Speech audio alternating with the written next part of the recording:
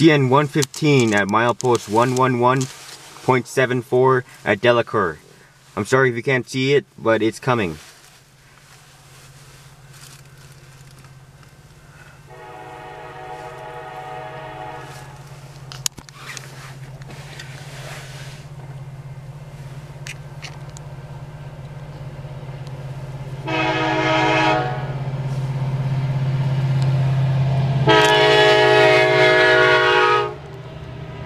SD70M-2 and another SD70M-2.